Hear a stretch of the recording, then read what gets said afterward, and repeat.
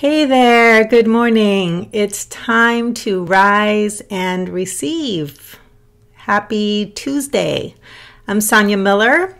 I got my lemon water. I hope you are getting your tea, your coffee, your morning brew, and getting ready to settle down for your 10 minute morning send off, because that's what we do here at Rise and Receive.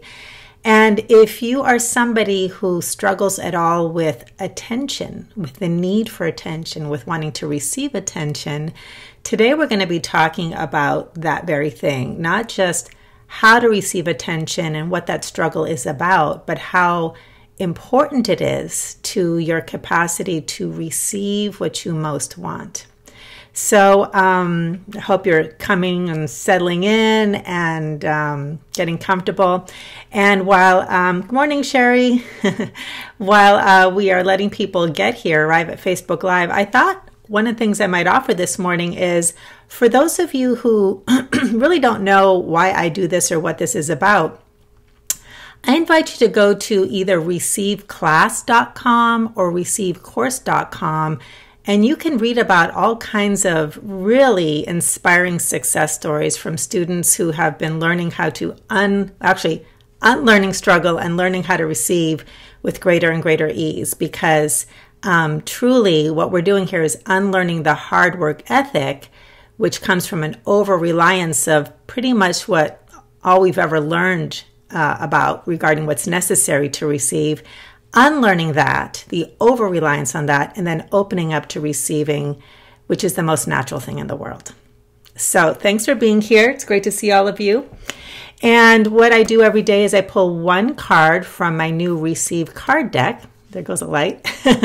and um, and then I read to you this receiving principle that um, can open up your awareness on how to receive with greater ease. So today, the card is receive attention. Excuse me. Receive attention. So sit back, let these words wash over you. I'm going to read you what's on the card, and then we're going to unpack it a little bit more.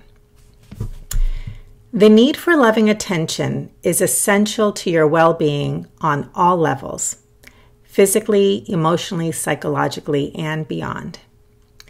If loving attention were to have a voice, it would say, I see you.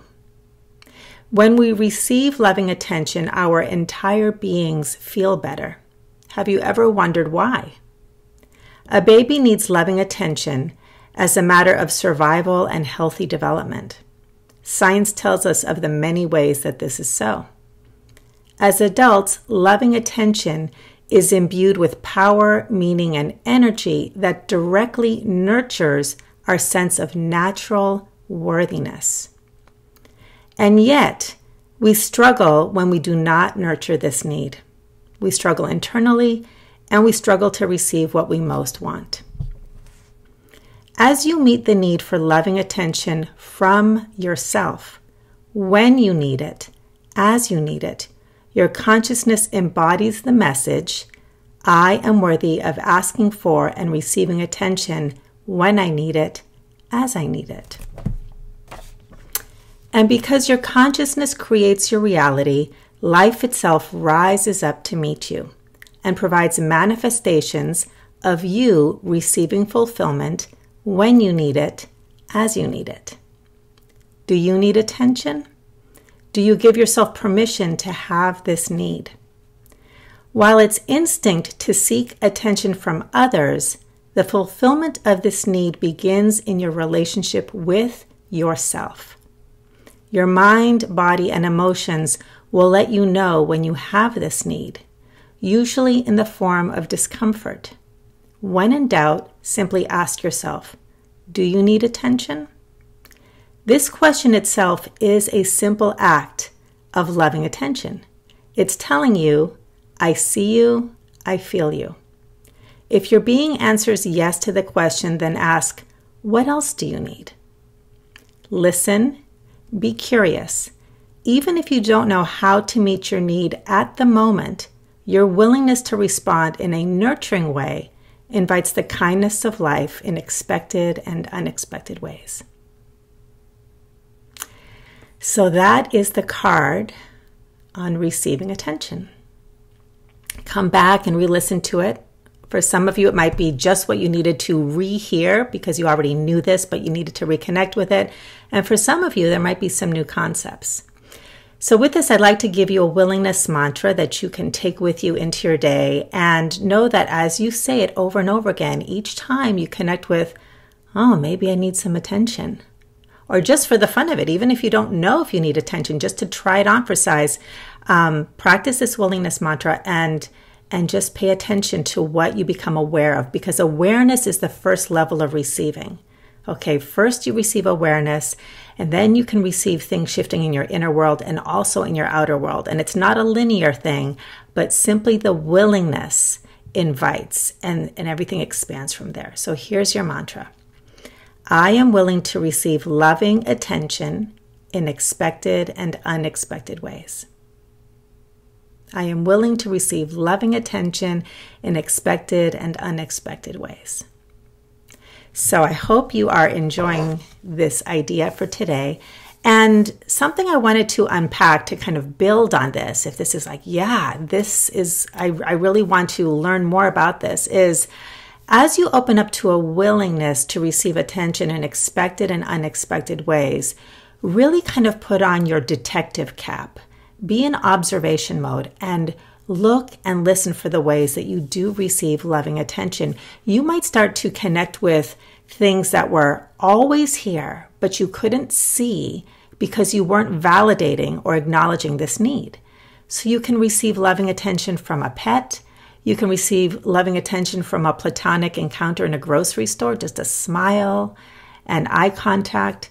You can go into nature and feel a loving attention from the trees and the wind and the river. Um, there's so many ways that you can start to connect with how it already exists in your life. And here's the thing as you connect with where it already exists and you receive and experience that fully and give thanks for it, it will be blessed and multiply. Okay? So, that was one piece I wanted to unpack. And here's another thing that came to me this morning as I was preparing. So, one of the things I talk about here is that receiving with greater ease is about learning how it is that we over rely on a masculine model of power, which is based in the hard work ethic, because masculine energy, a masculine lens, values productivity and performance and action. And the feminine values presence. Okay. So, something to know about all of these wonderful results that people experience and start receiving into their lives is the feminine is messy. It just is. And it's kind of one of those things that both makes people uncomfortable, but when they really accept it, they're like, oh, good. It was supposed to be messy. I can relax. The masculine doesn't like messy so much because the masculine is linear and makes a plan and has a strategy. And when unexpected things happen, like you cut the wood too short and you got to start over again, or you have the wrong tool and it makes it difficult, if it gets messy, it's actually very frustrating for the masculine model of power. But the feminine is by nature messy. Childbirth is messy. Agriculture is messy. Mother Earth, that's all feminine. And so we have a saying at the Success for the Soul campus, which is miracles happen in the messy. When you become aware that, oh, that's just the nature of the experience, you start to see how messy actually allows you to receive more and better than you could ever expect because what you know is not messy. I know it. But what you don't know, and when life gives you unexpected things, it might be a little bit messy, but you can get more and better out of it. So I just wanted to plant that seed. I hope that this has been helpful today. Uh, please come back for more. I'll be here tomorrow morning for Rise and Receive on Wednesday. Check out the links, um, free resources, the YouTube channel is another way to connect with these messages. And uh, please post below what stands out from you, for you from this receiving attention. What stands out? Share your comments, share your questions. I'd love to hear. Have a great day, and I'll see you tomorrow bright and early. Bye, everybody.